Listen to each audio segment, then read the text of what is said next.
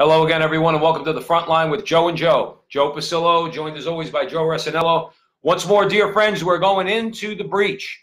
So uh, we just want to give everybody a heads up. We did a phenomenal, phenomenal interview this afternoon with Jesse Romero. For those of you who are not familiar, Jesse's a he's been a Catholic speaker, teacher, preacher for the last 20, 30 years. Guy's the real deal, ex-law enforcement. He's got a brand new book out called The Devil in the what is the Devil, Devil in the, in the City, City of Angels. Okay.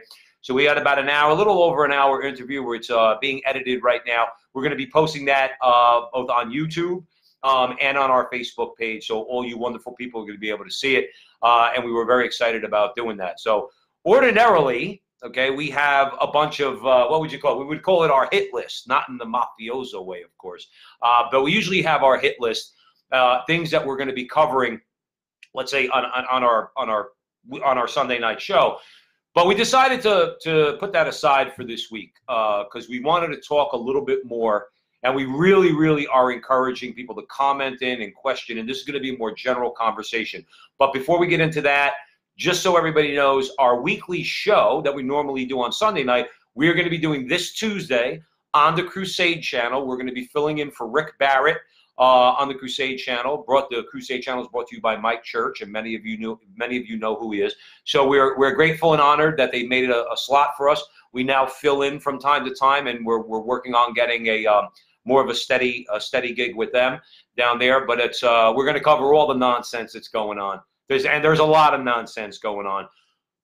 Point being, we need to start talking about what are the more general general questions, the general problems that we have in this country that we face, not just as Catholics, but all people of goodwill. Okay, and people of goodwill, I guess you would agree with me, Joe, is going to be defined as people who understand the moral law, that understand boundaries, that respect families, okay, and marriage. That follow respect, the golden rule. Follow the golden rule. They respect life we've gotten away from that. Right now, if you look at it, every major civilization, I don't care who it is, even as powerful as Rome, what was Rome's biggest downfall? Rome departed from first principles, their own first principles, laid down 500 BC at the founding of the Republic. That's why ultimately Rome fell. And America's going down the same path. Why? And I'm going to hand this over to Resinello because we lack order we lack the proper order in this country that most people in this country recognize for a very long time. I think up until very recently, okay, where it was God, family, country. That was the order. And it was acceptable to many people because most people here are religious. And Joe and I will be the first one. We don't agree with all religions. We don't. All right. But we there respect, was a respect we respect we respect people all right, and the people that people that understand there's a moral order, there's a natural order, there are natural boundaries. That's the conversation we have to have tonight at the front line with Joe and Joe. That's the breach that we're going into. Until we get it right as a nation, under God first, under God primarily, we're finished. And with that, I'm handing it off to my boy. As Joe said, I think we have to again get back to first principles as a nation. I mean, that is basically our platform, and that's basically one of the objective, I guess, like themes that this show was founded upon. As Joe said, it should be God, family, country, but I'm going to actually take it another step. It should be God, family, self. You see, sadly, we live in an age, I call it the selfie age. It's the age of the selfie it's all about me. At the end of the day, anything that is good requires sacrifice. Mm-hmm. Everything that is good requires a lack of putting yourself second, whether it's going to college. You have to, you, there's probably many things you want to do with that money, with that time. You sacrifice four years for what? To get an education? For what? To get a job. You sacrifice for your family. For what? So your kids can get educated. So your kids can have a good life. You take a back seat. This is what's lost. This is at the root of the problem. Mm. What's at the root of it all is we push God out of our society. Now, many people say, well, why do I need God? You need a rudder in life. You see, people who do not have a guiding value system, frankly, my friend, there's nothing that life becomes Darwinistic, life becomes very Machiavellian. Mm-hmm. I can do it, so therefore I will. I am strong, you are not. Mhm. I will take advantage of the situation. Mhm. See, God roots you in a value structure. These people, like I could use an example, take Mormons. I absolutely do not agree with them from a theological perspective. However, I absolutely respect them as a people. Why? Because they have a guiding principle. They're family based. They have a guiding principle. And for the most part, obviously, if you want to like go through their their their their society with a fine tooth comb, you're going to find issues as you will in any, any group. But as a whole, and I've been out to Utah for work. I've worked there two times. I probably spent a month, give or take. They're good people. I respect them. I have utter respect for Orthodox Jews. I was just going to say we've spoken Utter about this before. These are people that these are people that they don't play games. Your your your your Orthodox Jew does not play games on issues of life. Okay, they are not pro-death. They are not again. They they they are not in favor of anything, any other arrangement for a family outside of one man, one woman, and they have lots of kids. They do. As Joe mentioned, like one of his friends he works with has 11 kids. Here's my view. God bless him. You know, we, we're both Italian American. We lived in a time when families had very, uh, or, or mothers and fathers had very large families. My father was one of eight siblings. Okay. My mother was one of six. So the, so the, the, the point is, we've departed so far, and that's really kind of what we want to talk about tonight. We've departed so far from these basic fundamentals that we all know, by the way. The church simply reminds us. But in our heart, okay, because of the natural law and because because God reveals himself to everybody through the natural law, all right, and what we know, that we know these things to be right. We allow the forces in this country that are anti these things. They're anti-order, they're anti-Christ, they're anti-truth. Jesse said that in the, in the interview we had with him today. In other words, they're propagandists. They're liars. They're not interested in debate. They're not interested in conversation. They want to shut you down every time they that you disagree with them. This is what we need to fight against. And yes, all people of goodwill in goodwill in this particular battle. We can have our conversations about our theological differences. We can have our debates, and we ought to. But we all need to come together to confront the forces of evil in this country. And let's be clear. Let's be very clear. The forces are evil. That's what they are. When you champion, number one, like Joe said, leaving aside the individual issues, when you champion telling, kicking God out of your society, like the the um, what is it? The all the atheist groups, the freedom from religious organization, for freedom from religion, and the rest of them. At what point do we tell them, "Who are you? Who are you to tell us how to live our lives? Who are you to tell us what you're going to teach our children?" If I want to teach my child that three days after he was crucified and died, Jesus Christ was raised from the dead, then I'm going to teach my child that, and you will mind your own business. But we don't have that right now. We don't. They are right now at this moment in time. I hate to break it to you. They're winning. They're our children are at risk. Oh, I I would agree, and that's another reason why we do this show. Ultimately, from a theological perspective, only God opens up hearts. What I would also say, with regard to what Joe is saying, is you know them by the fruit that they bear. Look at people, and I was, you know, fortunate enough in my life. I went to school, uh, went to a Jesuit college, and I, I met many families. I went to school, a lot of large families. Many of them were very, uh, to be honest with you, well-to-do the fruit that their families bore kids who became doctors, lawyers, engineers, good people, married 40, 50 years. Look at the fruit that that bears versus the fruit that this culture is embracing right now. Look at California. California Right. is a bastion of, of decadence. All, the practical application of all the bad ideas that we rail against, you're seeing in California. New York's not far behind. It'll be there soon. All right, it'll be there soon. Okay. So, and, and another thing too, it's got nothing to do with money. New York has Wall Street. New York is awash in money. California has Silicon Valley and Hollywood. They are awash in cash. It's got nothing. It has nothing to do with money. These are wealthy states, but their ideas stink. Not only do are the do, do their ideas stink, they're in, in some cases, as as Andrew Cuomo just recently proved, they're outright evil.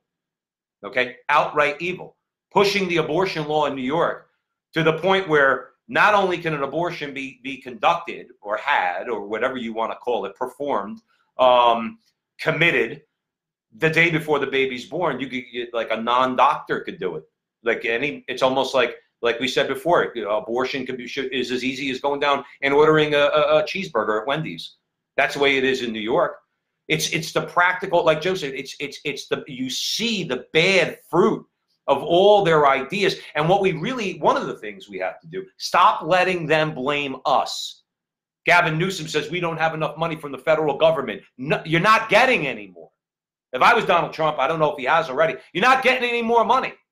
You have enough money. Your problems are that you don't want to face reality. You want to live in this, what, what would you call California? They're living in a fantasy world out there. In the meantime, people are defecating in the street, hypodermic needles on the ground. You got people. There was a shot online of the of the of the Gay Pride Day. There's a this is a little graphic. I'm sorry. Okay, put the kids in the uh, uh, uh, take the kids away from the screen for a minute. There, there's a homeless guy laying on the sidewalk, and right next to him in the picture is one man sodomizing another on the street in broad daylight. And the only conclusion you could come to is this place is devoid of order. That's the order we're talking about tonight that we need to recapture in this country. And in many places in America, I think you would agree, it's still there because there's I think there's more people of goodwill than than not in, in America. I don't see America as, as a place like where every everybody's drinking the Kool-Aid. I think the problem is a lot of people don't have a voice. I think a lot of people really just don't have a voice. Well, I think a lot of people, to be honest with you, lack courage and they just get up, go, you know, they follow the you know the leader, so to speak, because they just want to go along and kind of not make waves. But sadly, freedom has to be fought for every day. Um, and without that anchor, which is God, frankly, man fails. We are all subject to what's called concupiscence, which is something whereby we have an inclination to sin. Sin still exists. God gives us grace to overcome ourselves. You see, this is something that again, it's it's it's the variable that's not discussed it's the anchor. Why do you think New Year's resolutions never are fulfilled? They're great ideas, but they're rooted in nothing. They're rooted in nothing. Yeah. You see, grace is the something mm-hmm. that helps you perpetuate the idea. And this is how societies thrive.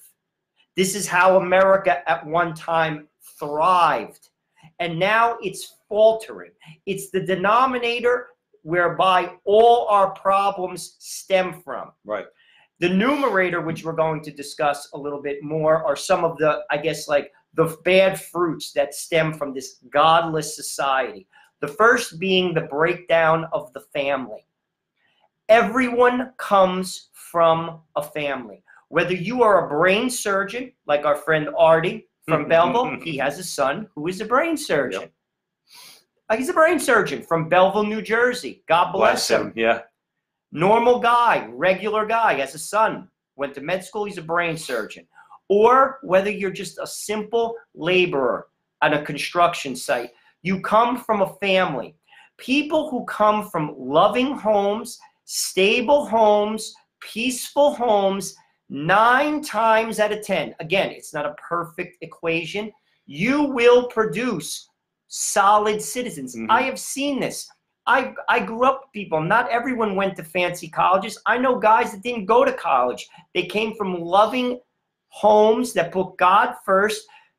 Two parents, a man and a woman who loved each other, who were devoted to raising their children, who weren't caught up in consumerism, who weren't caught up in all of the material nonsense and secular dreams that our society has embraced, and they have produced wonderful citizens. Yep. This is, if you do that, my friends, 50% of our issues disappear. Like like nothing, they disappear. They disappear. But I want to just just chime in for a second. But there's one there's one underlying theme to what to, to reason I should say for why these people lived good lives because they had the ability and the willingness to say no to themselves and to say no to their families once in a while. And what I mean by no is you can't have everything. In other words, sometimes you do have to be content in other words, to know that you're living a good life and stop listening to the lies that Hollywood sells, stop listening to the lies that the advertising industry sells, stop listening to the lies that the usurers sell because they want you to drive you into debt so you go out and buy things you don't need with money that you don't have and that you're never going to pay back and then put those chains on you and see how you fly. Again, they convince you that just living your life the way Joe just described, I'm worried about, let's say from a man's point of view, I'm worried about my wife, I'm worried about my children. I'm worried about uh, my relationship with God primarily. Um, and I want to do the right thing so we can live a good life in this world. And yes, dare I say, because there is a next life, I want to live the best life in next. Okay. It's, it's not simplistic, but it's simple because a little simplicity is what we need in this country. We're constantly being barraged. This is one of the things I think speaks to what we're talking about tonight. We put all sorts of things in front of God. How many things in this country do we, like you mentioned, material things? That's why the church teaches that consumerism is really, really bad. Actually condemns consumerism because we start to put the things we could buy in front of our worship of God and our service of God. Things that we can have because somebody's convinced us we need to have it. Okay? Knows whether it be the best TV or the, the car you can't afford all these things that are meant to drive you into debt. It's all a matter of we just keep putting we put keep putting things in front of and, and placing obstacles in front of ourselves to get to what our destiny is, which is to live a good life in this world, raise our kids, like you said, okay, uh, create good people, not just create people, but form them into good, God fearing people, and then go to heaven. That was Western civilization, by the way, up until the Enlightenment when everything just got when everything just got turned on its head. But one of the things that keep families together is God. There's a reason why in the Catholic faith there's seven sacraments. Marriage is one of them. I I, me and my wife help teach uh, the pre-Cana course, and we usually give a talk in the Archdiocese of Newark to people who are getting married. And I've seen all types of people, people who are professionals, people who are blue collar, all of which are getting married. People are convinced that they can almost will themselves to a good marriage. I got news for you. I have three children. Me and my wife both work. We feel all the stresses of this world. Marriage is a hard thing. Why? Because we are limited and the world is constantly attacking you. God helps put everything in place. And I'm going to tell you an example of that. Our Pope, Pope Francis, our Pope, meaning our Catholic Pope, not everyone here is listening is Catholic, said this outside of the grace that you get in your marriage from living a sacramental life, marriage, if you have God in your marriage, it helps you to do three things. One, say thank you to your spouse. Two, may I. And three, the most important of them all, I'm sorry. Hmm if we don't have that, when you take God out of the equation, marriage turns into a war. Yeah. It turns into a war. It turns into a needless struggle because marriage should not be a struggle. No, the, the way it's portrayed in the media and the way it's portrayed in Hollywood. What's the, statistic we, we, we shared a couple of months ago? Okay, uh, someone we were responding to someone who was saying that well, Catholics have a higher divorce rate or as or as high a divorce rate as anybody else in America. You're right. But as a percentage of uh, of divorces of faithful Catholics, faithful meaning ABCs, goes to church on Sunday, prays every day, goes to confession frequently, and and yeah, doesn't cheat on your spouse. Okay, in other words, but primarily goes to mass, prays, and goes to confession. Four percent. I'll throw four percent. Throw another statistic which I heard recently along those lines. If you pray together, you and your wife pray together. Like if I was counseling you as as as a married couple, my first thing I would ask you, do you pray together? 1%. 1% of families that pray together, not just going to church, say you pray the rosary together, which me and my wife do. It takes 15 minutes. It takes 15 minutes a day. Mm-hmm. You pray together 1% of those marriages divorce. Now, that doesn't mean that those two people are perfect. Far from it. There is grace. You see, marriage is hard. I will that's why half of the people fail. You don't magically have a good family. Mhm. Just like anything in life, people magically are not successful. If it was that easy, everyone would be. So you have to work. You it. have to work at it. Right. And that is one of the biggest mistakes when I look at people when I teach that class, and I can tell if you're not into it. I, I wasn't born yesterday. You are behind the eight ball before you begin. Right. You are behind the eight ball because you're you and I'm me, and we're sinners and we're broken people, all of us Mhm. and we need God. If you're not humble enough to recognize that, you, my friend, are in trouble. Not just in your marriage, but in everything. Right. Everything. And that's why it's vital. It's vital. And the family is what is the building block of society. I grew up, I have the same, I'm, I'm you know, not everyone has this. I grew up in the same area where I live now. I only live like four miles north of the town I grew up in. I have the same friends for many years, and I've watched them since we were children to now. Many of them were victims of divorce, and I've known them before the divorce. I've known them after the divorce. It has effect. It has lasting effects on people. Mhm. It wounds you. There is a wound. It's not natural for a child to go through this. It's a wound. You could recover from it. I'm not saying it's a mortal wound, but it's a wound. It's a wound nonetheless. And I've seen it, how it's manifested itself in my friends' lives. You see, this is a fundamental building block of society, Mhm. and everything that we do as a society to, should contribute to strengthening that bond Right. because no matter who you are, whether you're picking up the trash or you're operating on someone's heart, you come from a family, and decency and kindness and sacrificial mentality in life all come from the family. Why is it that? Why is it such a shock to people when when you when you mention that?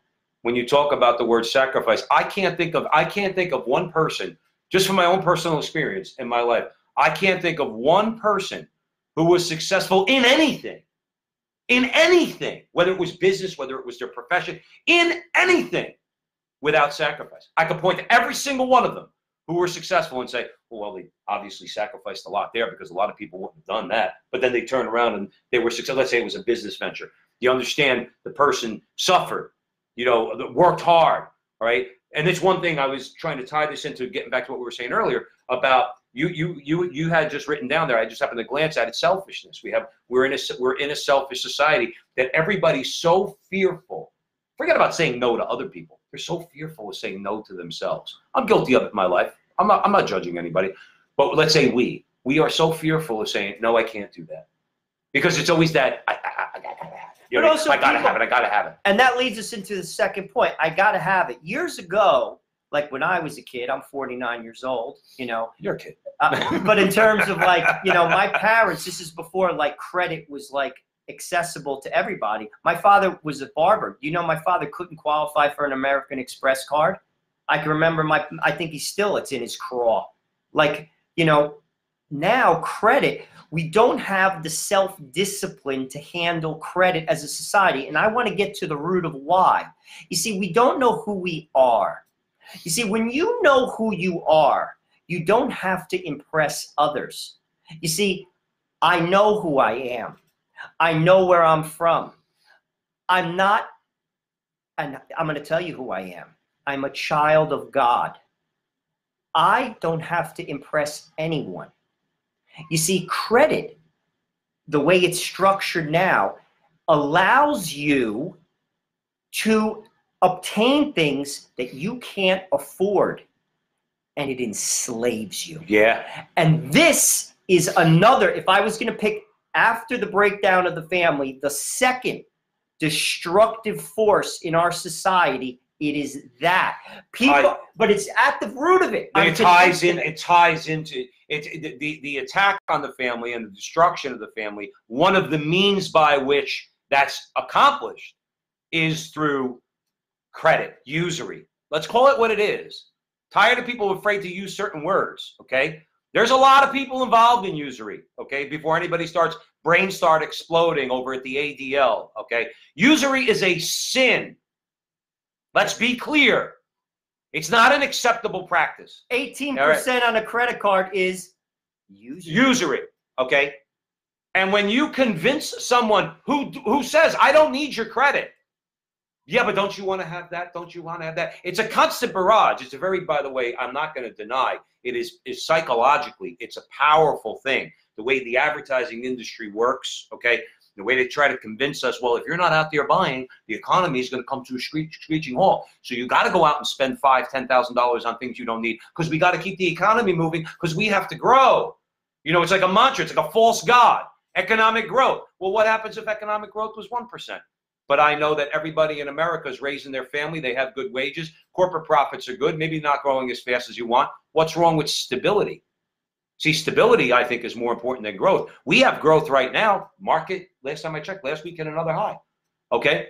But that doesn't mean that we live in a we live in a country that has a stable economy or a completely stable economy because we're riddled with debt national debt personal debt and that's part of the attack on the family let me tell you something if you're a working man and you're going out and earning the paycheck and let's say you're a good god-fearing roman catholic man who's got five kids at home okay and you're going out and earning the paycheck because mama's home taking care of the kids okay the one thing you don't want is debt the one thing you don't want is to put those chains on you because all that labor that you're that you're going out and you're, you're you're selling in the market that you're getting paid for, it's getting stolen by the usurer. Leaving aside that it's getting stolen by the government too. All right, Eddie just joined in, so Eddie knows exactly what I'm talking about. He's going to be running for Congress down in Florida.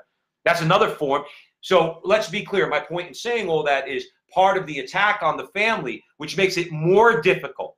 Not you know, again, we, we have to overcome a lot of things uh, but makes it more difficult to raise your family in a proper way is this could be a whole other conversation but is the theft of your labor and that usury that you're talking about the debt is a theft of your labor like i said when you're trying to have a stable life when you, like you said a sacrificial life um, i remember I, look i'm the first one to say i say it all the time my old man he died in 2005 okay god rest his soul i pray for him every day okay my father had a lot of problems but one thing is when it came to it, when it came to sending my brother to school, me to school, and my sister to school, and I used to say, Hey, Dad, why can't I have this? Why can't I have that? He goes, For the same reason that I can't have a Cadillac, because you're going to school.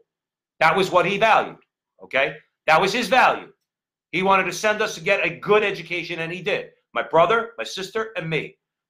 But it required sacrifice, or else, guess what? My father couldn't afford Seton Hall Prep if he was paying off a Cadillac note. My father couldn't afford Seton Hall Prep if his house, instead of being buying a house in 1972 for $19,000, shocker, in Newark, New Jersey, okay, instead decided he wanted to buy a house that he really couldn't afford for $40,000 at the time, then guess what? I don't go to Seton Hall Prep. And credit has allowed that to happen because it extends the leash. Years ago, it was a lot harder to get a credit card. It was a lot hard. People bought things on layaway.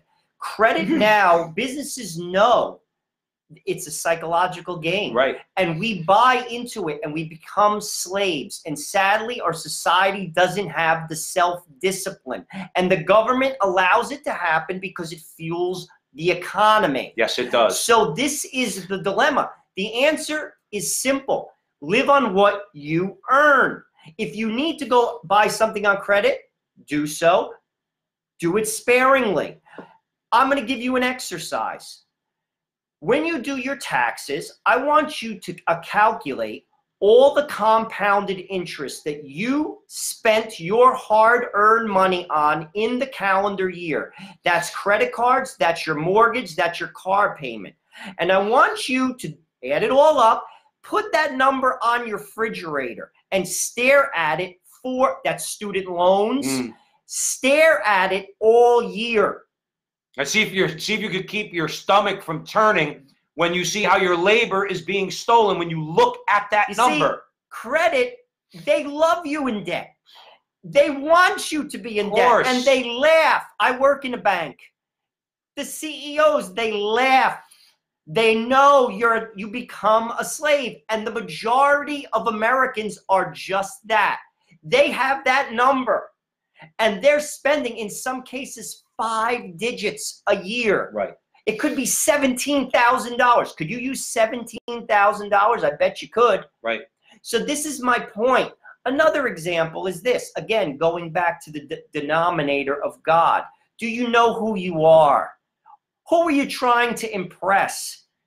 Because ultimately, no one cares. Nor do those people you're trying to impress care about you. How true is that? They don't care Right. about you. You drive up in a Cadillac, the only thing that they care is they say, oh, I'm guess I'm gonna have to go out and buy a BMW. And this is what people that- because they don't know who they are. I can remember my aunt, God rest her soul, grew up in the same neighborhood as Joe Pasillo and my father did. They went to high school together, ironically enough. And I remember my aunt, she had a house. Uh, they were very fortunate, her and her husband. They did pretty well for themselves. They had a house down the shore. And uh, the American dream is if you have arrived, you have two homes. Yeah. Anyway, especially if one of them's on the Jersey Shore. oh my gosh. Mind, mind you, my, my uncle Richard built, he framed it with his own hands, by the way. Hold that thought one sec. Let's give a quick shout out. We got a bunch of people joining. We're really encouraging everybody to join the conversation. Uh, this is more, uh, let's call it a heartfelt conversation tonight here at the front line with Joe and Joe, Joe Pasillo and Joe Resinello, 8 o'clock, Sunday nights, Facebook Live. We're talking in more general terms about the loss of God, the loss of family, and, and, and, the, fa- and the fact that it's causing our country that we love very dearly, okay? It's causing it to crumble. So we want to give a couple shout outs. Eddie's with us, Sean, Vinny, my baby's out there. Nancy's there. Michael joined in. Um, we got a few people online right now. So yeah, so right now we are uh, we're talking about these things. But Joe mentioned Joe mentioned slavery. Go ahead. Well, you were telling the story No, about but your my uncle aunt, Richard. we were down the shore, and I remember we saw this big house, and my aunt Lydia, she said, "Oh my gosh, look at that big house. They must have such a big family." And I just said to myself, I didn't, you know, I'm like, they, that, they, they could occupy two of the rooms in that monstrous house. They're paying all this money in taxes just to say that you have a big house Right. we've lost the identity of who we are. You see, the world defines you by what you have.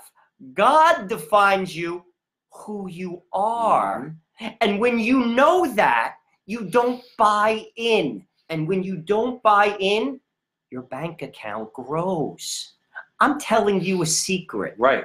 I'm That's the just key. telling you Joe a just gave you the secret. key to, to the key to a more prosperous life. If we were simply talking about being prosperous, self-sacrifice, committed, loving relationship, kids, God up top, okay, informing all that, all right. And I, I guarantee you, this is not the prosperity gospel, so I don't want to hear anybody say it. But the bottom line is, when you live responsibly, according to Joe, I'm going to use the word that's a bad word nowadays. According to the rules, okay, you will prosper. Moreover, just from a just a, as a aside for a second, and you will piss off the oligarchs whose whose whose whose sole goal in life is to keep all of us in chains. Eddie chiming in. All right, uh, Eddie said the family is the last buffer against totalitarianism. And Eddie, I, I'm sure you've heard of Gramsci. We brought him up. We brought him up uh, a few times on the show in the last few months. Okay, Antonio Gramsci. And what you're a- alluding to there is what Gramsci described and what he actually promoted, which was the long march through the institutions. The, central to his long march, the central institution that he needed to take down uh, was the Catholic Church. However, having said that, all societal institutions, so infiltrating the media, infiltrating academia, and destroying the family. You are absolutely right. I, I brought it up before on the show. Um, I think it's I think it's a great scene in a movie, um, and and it speaks volumes about what we're talking about, what Eddie's talking about right now. When the Khmer Rouge have the main character in one of the re-education cl- uh, camps, okay, and um, this is during the killing fields in Cambodia, and they bring the little kid up to uh, the two the two comrades bring the little kid up, and there's a poster with the stick figure of obviously what is a mother and a father holding on the hand of a little child, all in stick figures. And they give the little child the crayon, and the child goes over and he puts a big X through the parents. Eddie, that scene defines what the totalitarians want. That's why, as Joe's describing, we as people who value family need to fight tooth and nail against all the people whose motivation it is, whose sole goal it is, is to destroy the family so that the, that the individual is left bufferless. You use the word buffer, Eddie. Bufferless between himself or herself and the power of the state. The family central to our fight and our culture war. Without strong families, we're toast. We're toast. And alluding to like the selfie generation, which is our third issue with our society presently, is the rampant selfishness. What drives someone to be selfless? By the way, the definition of love does not derive itself from a feeling. That's the frosting. Mm. Love gives, it doesn't take. Love is selfless. That's what love is. Why does someone sacrifice for another? Love. Ultimately, yes. But what is the goal? If your life is rooted in the here and now, you live purely a secular life, it's not a God driven life. You want yours now. Right. You see, a person who believes in God, that's why it's the denominator. I look at my parents. Do you know my mother? Both my parents, blue collar people. My mother was a secretary, my father was a barber in a one man barber shop. Both me and my brother have master's degrees. We lived in a middle class town. Why? Because they did many of the things which I just talked about. I never saw my mother buy anything nice for herself, ever. My mother didn't buy fancy shoes. My mother didn't have a fancy pocketbook. My mother didn't have fancy clothes. Wasn't important. She spent all of her money on me and my brother to advance ourselves. That is hmm. a fact. But why? What's the underlying driving thing? Love? Yes, that's important. You believe in God. Your home isn't here. You see, my house is not in Southern Bergen County. It is, theoretically. But in 40 years, I won't be here. My home is in heaven. My life is driving towards that goal. My life here, all things are used to get to that goal. Right. My money, job, car, they're just utilities. Right. When you have that in mind, selflessness is easier to grasp. It's still hard, it's a struggle uh, for all people because we're human. Getting back to the word concupiscence once again. But selflessness.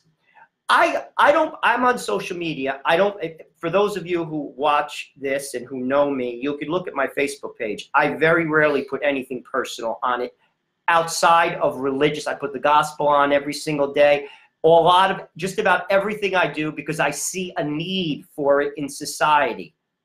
There's a thirst for it, whether you realize it or not, and I'm trying to fill that thirst. That's always been my deal. I, though, look at social media. I have all types of friends educated friends, non educated friends, religious friends, non religious friends, all types of friends, childhood friends, friends from college.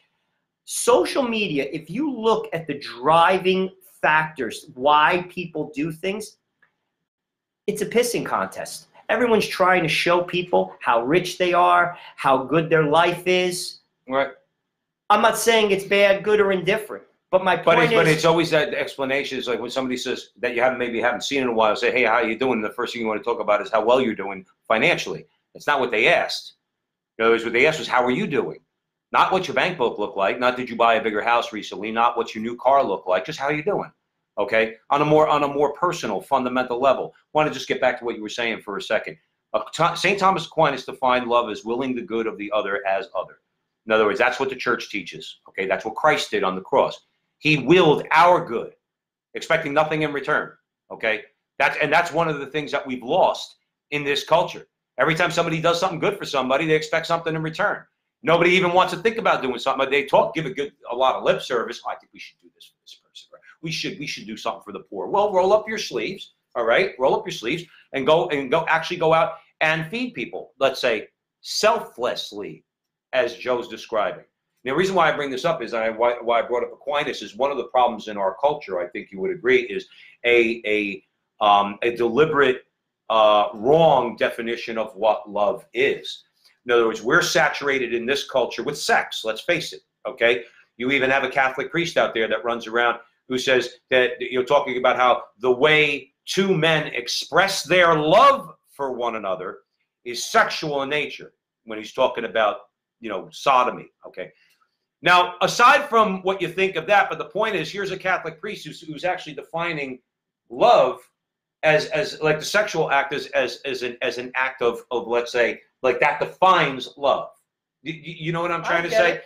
rather than rather than let's and, and that's one and that's one of the things. What uh in our culture let's see uh, oh one of the famous lines from when we were kids love is never having to say you're sorry. That was from love story. Ali um what was her name Ali MacGraw and um and ryan o'neal love is never having to say you're sorry i think love is having to say you're sorry. I say I'm sorry all the time. Say I'm sorry.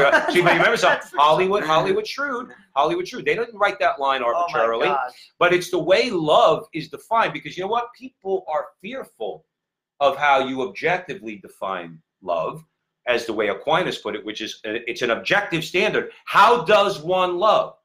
And like Joe said, feelings really don't have anything to do with it. It could be accompanied by a feeling, okay, and it does feel, let's say, on a certain level, good to love. But ultimately, the value in loving someone else is a is is selfless. It's the selflessness. It's I just want this for you. What's words, best for you? What's best for you? That's Not why. That's why a marriage that's rooted in love, which is Christ. Okay, it's synonymous. Love, truth, and Christ. It's all synonymous. Okay, um, that's why a marriage rooted in love lasts and and very uh, you know uh, very infrequently, as we pointed out our statistics, very infrequently end in divorce because it's a relationship of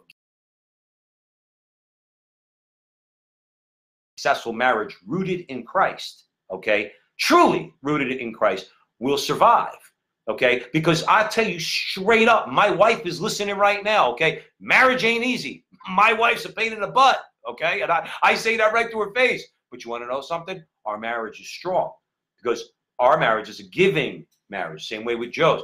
It's a giving relationship, okay? It's a giving one. Marriage isn't- Fundamental. Marriage Fundamental. isn't like sadly again going back to when I've t- taught pre-Cana classes to people. Most people look at what am I getting out of this marriage? Wrong. What are you going to put into it? What are you going to give? You see, that's the successful model of marriage, Mhm. And that's not what it is. Right. and that's why it's failing.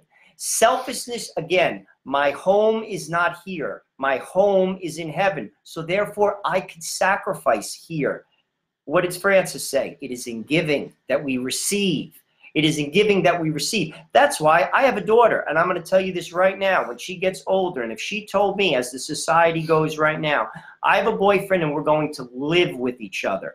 And what I'm going to tell her straight out, he does not love you because he's not committing himself to you. Any fool could pull his pants down. Any fool could pull his pants down. Commitment shows love. That's why contraception is a sin. Right. Because what contraception says, I love you to a point. You're going into the murky waters now, Jojo, but go I ahead. love you to a point, and ultimately, I'm using you for pleasure. now, nobody and wants to hear that. You're using me for pleasure. Right? Nobody wants to hear now, that. does that mean you have 13 children? No, but there's such a thing as natural family planning and the Creighton method. And if you monitor the woman's cycle, you come together during periods when she's not fertile, you will not have children. But that does require self discipline and not having sex when those periods, when she is fertile, and having coming together when she is not.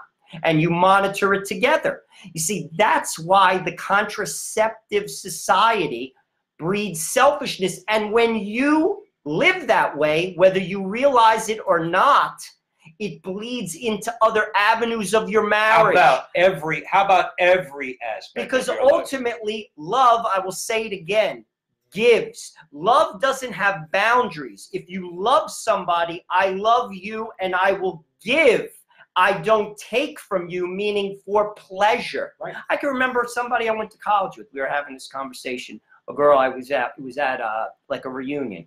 Very intelligent girl, very successful, married to somebody from my college. We were having a conversation, and we are talking about contraception. And I'm not going to, you know, divulge her name, but I'll, I'll just say it's Jane. I'm like Jane. Contraceptive mentality in a relationship. You're using one another. This is exactly what she says to me. I know that. I'm fine with it. How sad. How sad. Is that love? Is that love?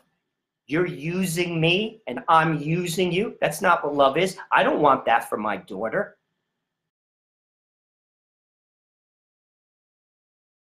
For a very long time, has promoted all these things. All right, that's one of the reasons why we, you could you could you could scream it, and uh, we have to. That's why we're here at the front line with Joe and Joe on Sunday nights, 8 o'clock, Facebook Live. Okay. That's why we keep saying we have to speak the truth. Forget about left and right. We're looking up. Okay. Because we have to speak the truth. All right. That's one of the reasons why. Uh, I mean, con- the contraceptive mentality, you just hit the nail on the head. The contraceptive mentality is so appropriate for you, for you to bring up as, be. I, I, I've heard a number of people say it is the root cause of all our problems in this country. That if you want to point to abortion, if you want to point to uh, gender, this whole this whole wave, this violent wave of gender ideology, and it is violent. Okay, um, when you talk about the whole rainbow, uh, the whole rainbow movement in this country, it all has as its source contraception, and people don't hear that. They don't hear it the way you're saying it often. I, I would say I haven't. Um, what they hear is the big bad Catholic Church wants to stop you from having sex that's what they hear in their mind. Or they want women to just be barefoot and barefoot and pregnant, which is which is the opposite of the truth. Wrong. But what if but what if what Pope what Pope Paul the VI wrote in Humanae Vitae was that it's the mentality. Now I'm paraphrasing, okay? It is the contraceptive mentality that leads to all these problems. Joe just Joe just hit the nail right on the head because underlying it all in a mo- in one of the, in, the, in the most fundamental relationship outside of your individual relationship with God, the most fundamental relationship you have is with your spouse. Okay, that at the end of the day, that foundation is based on taking rather than giving. I, that is the contraceptive And I invite you to read Humanae Vitae, which came out in, in 1968. it was 68. Okay, read it. In it, the Pope, Pope Paul VI, said that it is a sin to contracept. So it is still a sin, just so you know. If you are contracepting, you should not receive the Eucharist because you are not a practicing Catholic. That includes if you sterilized yourself. That's what the church teaches. I'm not here to point fingers. I'm telling you what the church teaches. And what he said in this is prophetic. He said that those who contracept, it will pit man against woman, it will lead to abortion, and it will lead to men not respecting women because they will treat them as things as opposed to equals. Mm-hmm. And all of that has occurred. Yep. Yep. All, let me say it again.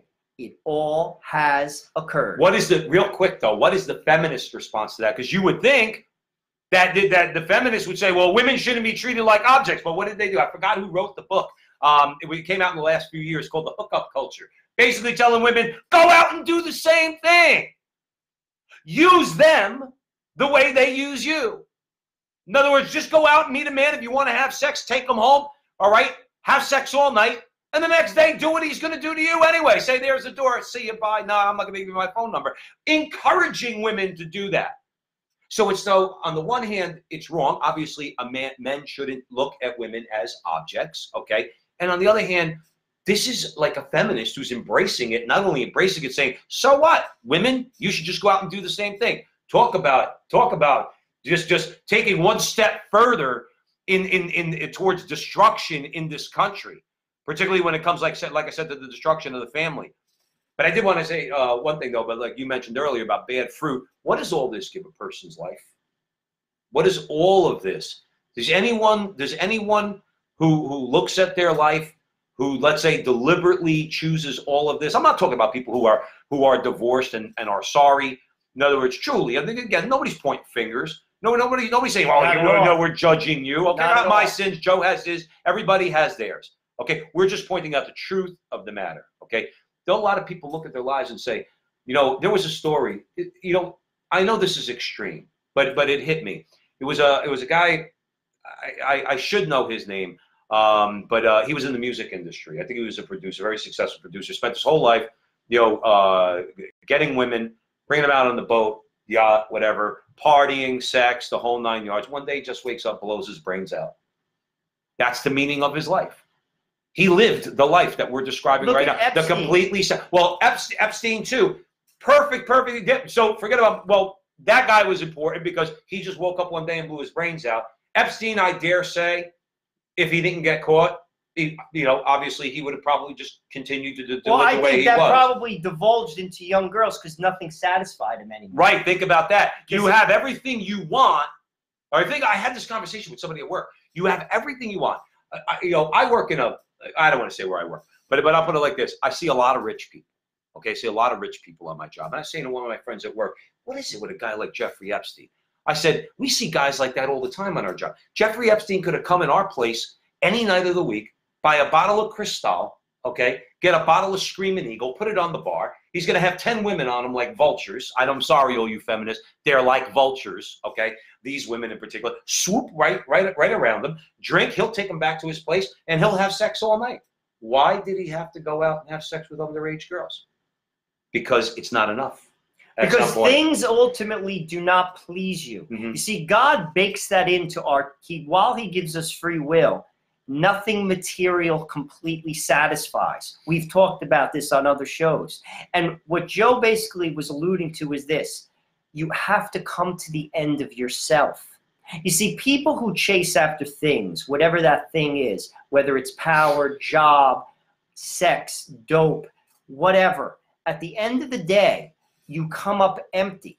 And if you're honest with yourself, you will look at yourself and say, there has to be something more. Mm. And that when you ask that question, that's they say when you've hit the bottom, that's when God says, now let us begin.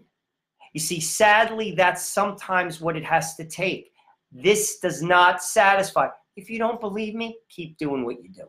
Right. That's all I'm going to But say. then, but then if you, but then if you keep doing what you're doing, and we say it all the time, and you look at yourself in the mirror and say, "My life's a mess," do us all a favor and don't blame us.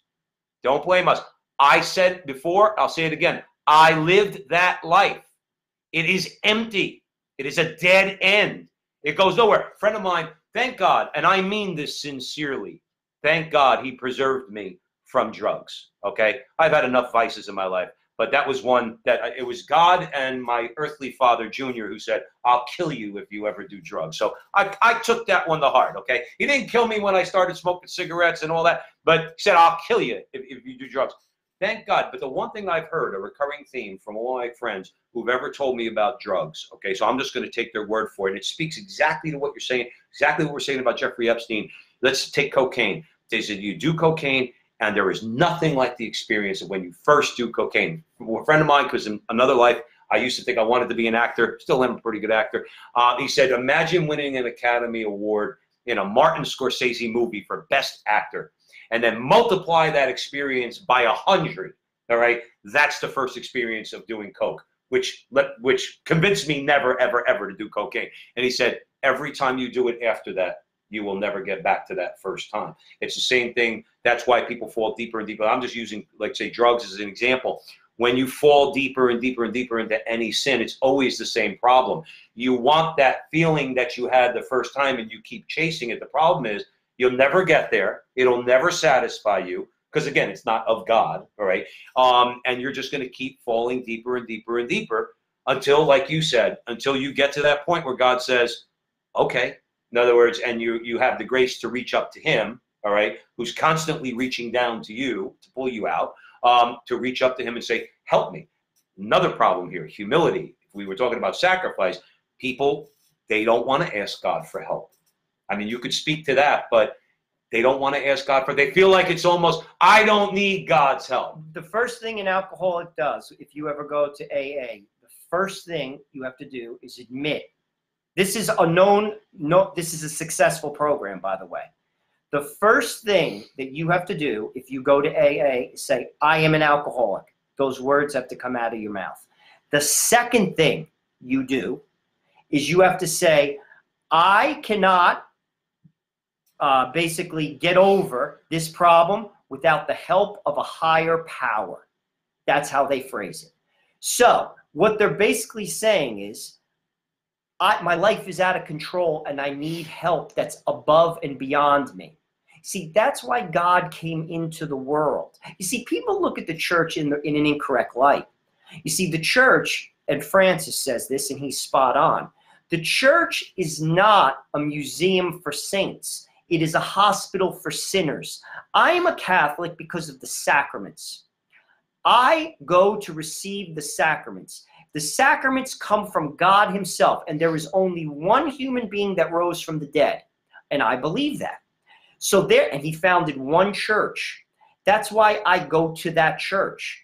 And I need the sacraments because I am a sinner. You see, and it is because of that that Christ came to help us overcome the greatest enemy, which is us. Mhm.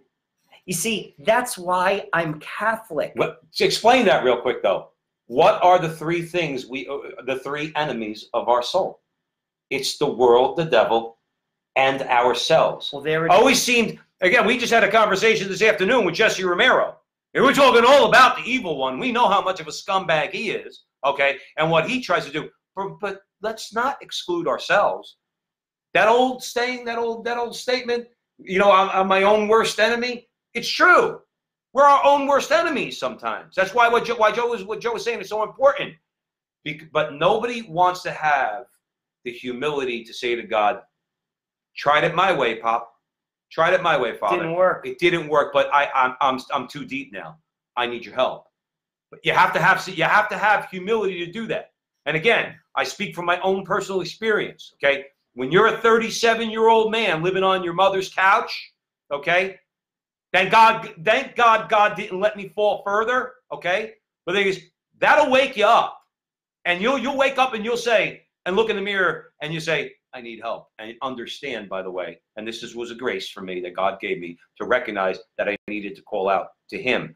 That's why we started out talking about God, family, and country as it pertains to the United States of America in 2019.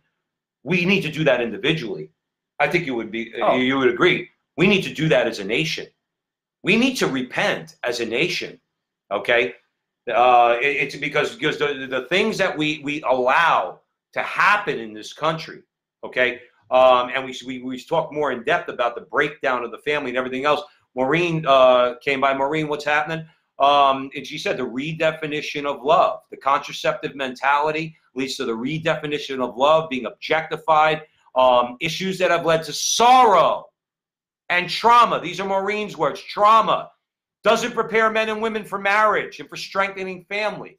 This is by design, Maureen. That's one of the reasons we're here at the front line with Joe and Joe. And actually, It's that, all by design. that leads to an interesting question. Again, talking about pre-Cana, teaching people like you know what marriage is, objectively speaking. Do you think? I always get a kick out of. Um, I got married later in life. I was 43. I've only been married six years.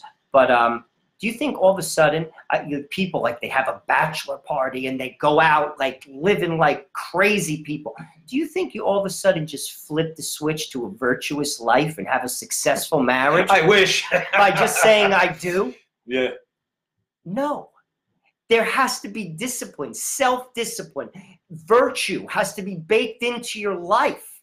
You see, this is again the delusion of this American nightmare that has been sold to people. Right. To have a successful marriage requires those things, and you don't just flick the switch and obtain them. Again, living a virtuous life, following a guiding principle Right.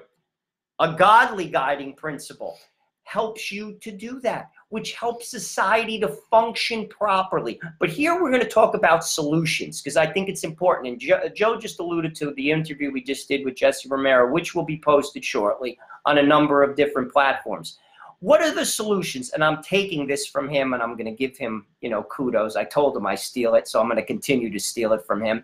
He talks about the five stones of David, and he's alluding to David and Goliath. David was a boy and he slew a giant with a stone. Well, here's our stones. And I always do this. I say this every New Year's. I sometimes post it on Facebook. Everyone has their New Year's resolution. Hmm. I'm going to give you five things that you can do. I'm the life coach and I'm not going to charge you a dime. I'm going to tell you if you do these five things and you do them consistently for a calendar year, your life will improve. If your life will improve, let's begin. One, go to church every Sunday if you're a practicing Catholic. That takes 40 minutes a week.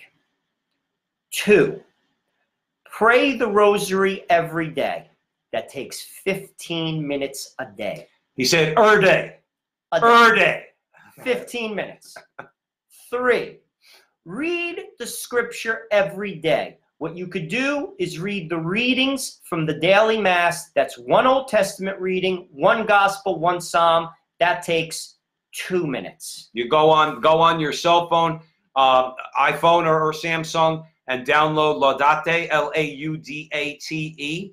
All right, and on there is a a very good, I would say, uh, resource for a lot of things, a lot of prayers, saints of the day, and all that. But in there is uh, the daily readings. So we're, we're up to four minutes a week, 40 minutes a week to go to church, 15 minutes a day to say the rosary, two minutes a day to read the scripture. Four, go to confession once a month. That takes five minutes a month. and that requires a virtue known as humility. And what does confession do? You're forgiven of your sins, and God gives you the grace to overcome other sins. And five, fast every Friday, nothing crazy, something small that's a little pinch. Hmm. Don't put coffee, don't put milk in your coffee. And Uh, offer it up. don't eat meat. If you do those five things, you will see a difference in your life. I put that on Facebook. New Year's. Everyone has all these New Year's resolutions. I'm going to go to the gym. I'm going to lose 40 pounds. I'm going to do this. I'm going to do that. I'm giving you something right here that costs nothing and doesn't even take a lot of time and I will guarantee that it will change your life. Yet people don't do it. It actually boggles my mind. It boggles my mind. People rather will wallow in their own misery and sorrow. Up until a point when Joe, when people feel the need. Somebody told me I, I, I watched a guy who was in a Q and A. I forgot who it was. It was with a, a priest um, who was given a did a talk and was given a Q and A. And he the guy said the guy said, um, Father, I want to just say very quickly. I came back to the church. He tells this story about how years ago he was very rebellious and all that and wouldn't do the things like you're describing right now. Set aside a little time, and a good priest, he said, said to him to do similar things to what you're saying right now. To just you know do these basic things. It'll begin to you know train yourself, develop good habits. Obviously, you're asking for God's grace in your prayers, so that's going to obviously strengthen you and help you to be successful. Um, and the dude basically brushed off the priest. And uh, he said he converted back to the Catholic Church after years after this. He heard this priest. Um, he converted back to the Catholic Church because the priest said to him as he walked away back into, you know, the distant land like the prodigal son. The priest said, "You could come. The, the church will have you back anytime you want." He, and he said that one thing that the priest said, out of all the things he tried to tell him, the way he says, "You could come back anytime you want. The church will always have you." Ten years as he fell. My point in telling the story. Ten years as this dude fell further and further into sin and misery. Okay, he remembered what the priest said, and true to, true to form, God bless the priest that who he eventually went back. He went and said, "Father, I need confession." He said, "Okay, right over there." He, he gave confession. He's now a practicing Catholic. He's in the sacraments. Um, but my point is that, in bringing that up, is that unfortunately, given our nature, okay, and I'm not excluding myself from this, sometimes we need to fall further into, so that we wake up. I do think that what's important is yes, I am plugging the front line with Joe and Joe and many others out there like Terry and Jesse um, and people like that who uh, Mike Church, people who are telling the truth. If we're out there, as Jesse described, saturating the airwaves with the truth, bombarding the airwaves with the truth. Because remember, there's a lot of obstacles in our way. You got Hollywood, you got the advertising industry, you got television, you got the music industry, you have you have all this nonsense. Okay, if we're saturating the airwaves with the truth, we will we will be fishers of men. We will we will plant the seed with someone and just let them know, man, you're talking to two guys. You're not going to surprise us or shock us by by how you're living your life because odds are we did it too at some point in our life. The point is to tell the truth, to start living in the truth. That's what Joe was describing about the five stones. Okay, living in the truth, having your daily your daily life informed by God. You know what I started to do recently? Just you know, I heard I heard again because we listen too. Uh, we don't have all the answers, nowhere near all the answers. Uh, I heard somebody say, uh, wake up in the morning and uh, just say a Hail Mary. Just wake up in the morning, say a Hail Mary. And before you go to sleep, no, I pray during the day. I have, I have prayers at times of the day. And last week I woke up and rather than think about Fox News and the impeachment hearing and, and, and all this other stuff, I prayed a Hail Mary. And then I woke up and had my coffee or whatever and started to wake up. And then later on in the day, I prayed my prayers. And when I went to bed that night, I prayed a Hail Mary. You want to know what? I've already developed a good habit. All right. It's great for my soul. And it reminds me to begin and end my day with God. That's, is that, is that hard? And I'll say this if you think what I'm saying is garbage, if you think what I'm saying is utter nonsense, and I'm wors- worshiping, as the atheists would say, the spaghetti monster in the sky, or whatever Yeah. they say. Flying straight. Thanks, Mr. Dawkins. Thanks, Professor Dawkins. What I will say is this you're never going to find perfect people. You're not looking at two people who are perfect. Look at people. You, there's a, there's something in Scripture, and I I'm a firm believer in listening to Scripture, not just reading it, but listening to it. You know them by their fruit. Look at people who do what I just said. All walks of life, not just religious, because there's good religious and there's bad religious. There's good Catholics and there are bad Catholics, frankly, and you could find them. If you want to look, you could find the good, you could find the bad, just like in anything. Look at the people who do those things and look at the fruit of their life. Married 60 years, have still good connections with their children.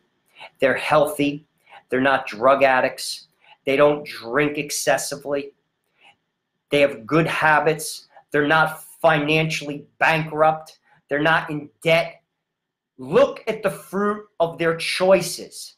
They're married to good women, good men, don't abuse them. Look at the fruit of their choices. You will know them by their fruit. And all of that requires work. All of that requires a foundation. Don't take my word for it. Look, and I was just fortunate enough that I received a family that did that. Frankly, they weren't perfect and they still aren't. Who is? But the point, and I'm not perfect, but the point is, I lived in that structure and I know it works because I saw it work. If you think I'm full of crap, um, look at people who do that Right. and look at the fruit that their life produces. Now, inversely, look at the fruit of people who don't and then decide for yourself. And don't measure them by their bank book either. Has nothing to do Has with nothing that. to do with money in the bank. Nothing. Because there are plenty of people who live in garden apartments, who sit in the back row of a church, who drive a really old car, who are very happy. Very Yeah. happy. Don't judge a person's So- happiness by the size of their bank book. So that's what I'm saying. And there it is. I So I'm just telling you the, the God's honest truth. And I'm saying this to help you. I am no better than you. I am you, actually. I want to follow up on what you're saying. This is so important. This is so important to what we do here at the front line with Joe and Joe, because some some of you may say, "Well, why you you guys getting all religious on us today? We want to hear about the Democrats and politics and everything else." Because ultimately, ultimately, now all those things are very important to talk about, and the attacks on our freedom and all that. It's not second fiddle, okay? But none of that, None of that. Joe said in the beginning of the final segment here tonight, we were going to try to offer some solutions. That's why we're that's why we're talking the way we're talking. You're not going to get societal change from the outside in. Societal change is going to come from the ground up.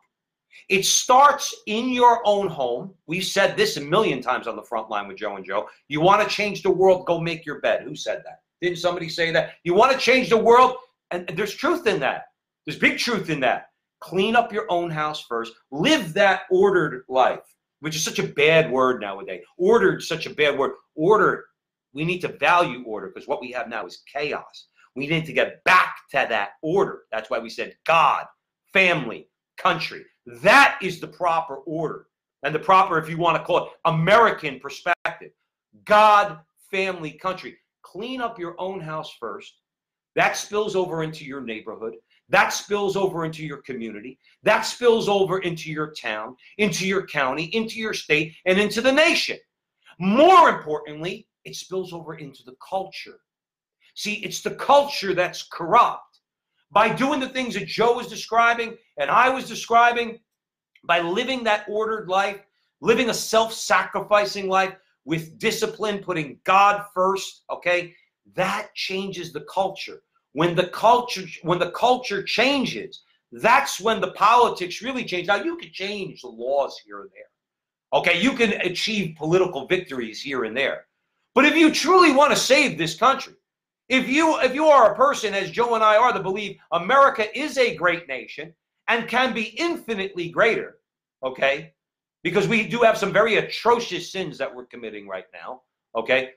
Then we need to start by cleaning up our own house by living that ordered life by putting god first and then letting that and start starting to organize and starting to letting that let that spill over into the culture which in turn will change our politics i will say that just just just to put a, a finer point on it going back to our typical front line with joe and joe shows okay on sunday nights facebook live at 8 o'clock do you think if you had a society that we just described okay a truly authentically free society not enslaved by pornography, by usury, not enslaved by consumerism nor socialism, just a, an ordered life with big families and solid marriages. Okay. Do you think any of those Democrats that are on that Democrat debate stage the other night would even dare say the things that they're saying?